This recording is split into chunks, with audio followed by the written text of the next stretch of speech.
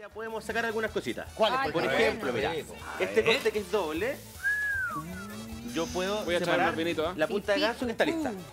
Ahora, para, lo- los parrilleros de verdad. Porque esto a- alguien me lo dijo. el- eh, eh, comen así, Salud, ¿quién quiere vinito? picoteando aquí en torno a la parrilla. Todo, se picotea. Na- nada de esa Marcelo, cosa, esa recibe. cosa de los Gracias. platos y la Eh, ensalada. profesor, hay una, hay una tabla que es como de sal. Hay Ah, una- sí la conozco. ¿Qué de- tal es esa como de sal del Himalaya. ¿Ese? Sí. Eh, mira, yo todavía no la he usado, pero he visto varios videos y, y- y por lo que se aprecia es como una plancha. Sí. Y tiran la, la calientan bien y tiran los cortes y supuestamente la saborizan la misma tabla. Claro. Todavía no he tenido la oportunidad de probarla, pero me tinca. Pero Ah. Hay una tabla de sal, dice el huevo, Ah, que existe. sí. Ahora, Escuché la eh, palabra caliente y me, como que- Oye, mira, hombre ¿querés, está querés probar un poquito este Sí, vamos, vamos, vamos. me pasa eso con los asados. Te metemos a vos acá en vez del carbón. No, yo ya estoy listo. Esta es la rueda de la parrilla, picoteando. Eso es lo mejor. Aparte comés, picoteo lo comés, mejor. comés. Como dice Marcelo, nada de las mariconerías, de, la, la, la de la ensalada. Ensalada. y esas no, tonteras. con es, todo triste ¿ah? aquello, ¿ah? Como se preparan las ensaladas para No, los asados. Y nadie, Nadie Como dice. Marcelo, como dice Marcelo. Bueno, esa es la otra que pasaba en Chile, que llegaba un asado y las mujeres en la cocina preparando la ensalada y yo quería estar donde están los hombres en Pero parrilla. eso Chile cambió, Chile cambió. Mira, ¿Quieren yo- probar mira, carnecita? mira, mira, mira la presentación. Así nos cosa, gusta ¿cuánto nosotros. sabe, Hace tanto no me una buena carne. Bueno, ¿cuánto sabe, profesor? Este es el asiento criollo, la parte de la punta de A ganso. ver, permiso. Esto es mucho ¿ah? para mí, ¿ah? A ver. Compartan nomás. Gracias. Oh. Habla tú, habla tú, habla tú. ¿Ustedes Bueno, supongo quieren? que está rica. Cuenta algo. Ahí está. Compren. Oye, Oye, gallo bueno. esto parece Oh. Guayú. Viejo. Un manjar, un manjar. Impresionante. Bueno, estas son Es carnes. como para viejitos sin dientes, no hay para qué mascar. Oye, no, no, no pusimos acá en la parrilla Me el, lleno los de embu- imágenes. embutidos. ¿Te gustan los Me embutidos? encantan los No, embutidos. super tema, la prieta. Maravilloso. Me encanta. Me gusta más que la ¿Qué carne. le pasa a Sergio? Ah, sí, ¿en ah? No, es que, ¿ah? es que me encontré aquí con mi compadre. Es como, es como, Osorno, es como un paté Ah, espérate, pero es como un asado de Drácula. ¿Qué es eso? Es maravilloso. Es fantástico. Pero para ver, parece, yo no lo Yo no degusté bien a la carne, ¿me conviene? No, un poquito Ah, más. Parece que hace harto tiempo que no. Parece que hace harto tiempo que no hay carne, ¿ah? Ya mira, tú echaste de menos las pichulitas, ¿no? Eh, sí. Y, se come, y se come con esa grasita. porque. ¿O la grasa Ah. también? Con la grasita, lo más rico. Claro, para Para que no se pierda, profesor. Claro, si no. Ya, vamos a entrar al mundo del- de los mitos Y las verdades. o verdades. Mito o verdad. El primer mito o verdad, pon atención, el profesor. A ver. Mira, es el siguiente. Ajá.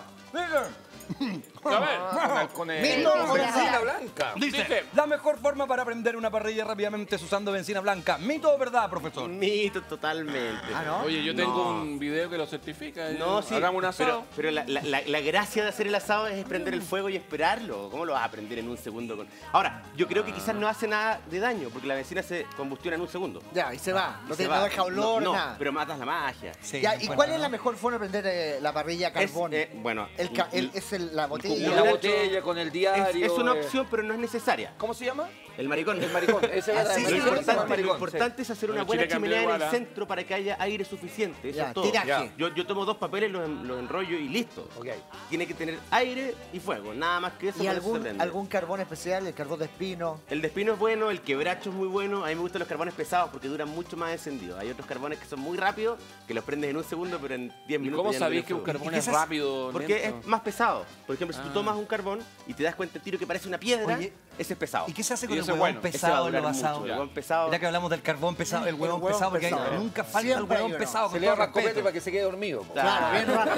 El, el problema es copete que funciona Copete más, como ¿no? si quede Mito o dormido. verdad. A ver. El mito 2. Al buen asado se le echa cerveza. ¿Mito o verdad, señor? Ah, Bueno, adelantado, ya, lo ya, maté este. Puede, ser el cerdo. Claro, El cerdo o el pollo. Hola, cerdo. Puedes alinearlo más, pero el vacuno es una innecesario. película. Ya no hay para qué. Prefiero, prefiero tomármela. Ya, claro. Y eh, hay algo que ¿Y el tú prefieres? chimichurri y esas cosas? Para cortes magros. ¿Para corte qué? Magros. con poca grasa. Bueno, que si vamos a empezar Bueno, así, yo empezamos con la mejor me voy.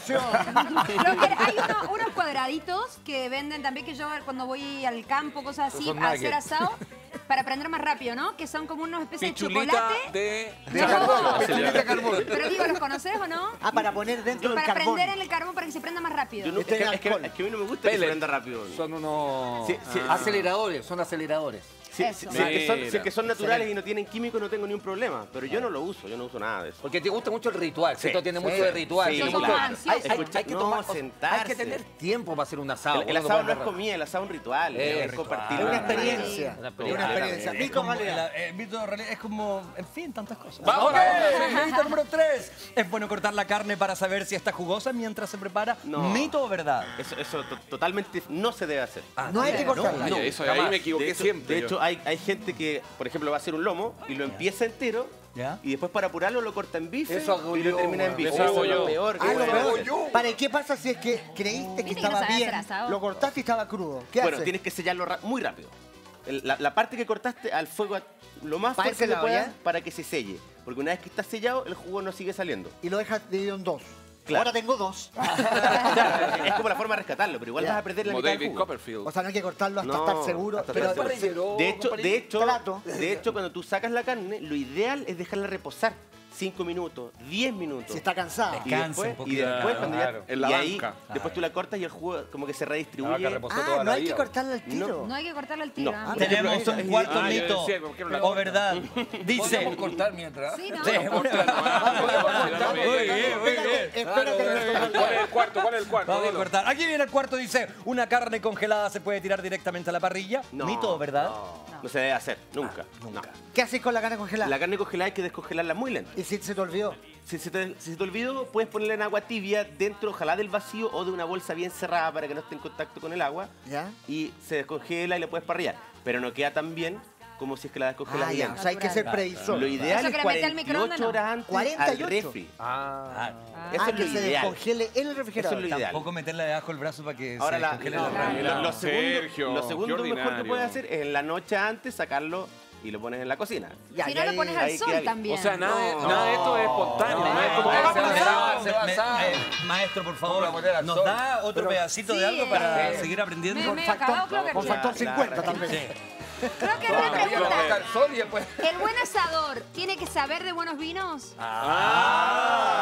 por, lo- por lo menos una esencia tiene que tener. Toma. Pero Ahí no tiene está. por qué ser experto. ¿De qué A ver, te este es un burlaste? super que- tema. ¿Con qué es recomendable un asado? Dep- depende si es magro o si es graso otra vez. Mientras, Si es graso. Carne soñón. Carne Por ejemplo, un, un Bien, vetado, carne soñón. Un corte más magro puede ser un carmener, por ejemplo. Una cosa más suave, Sí, claro. Y si vas a estar con pollo, Y sobre todo cosas así, un exportación con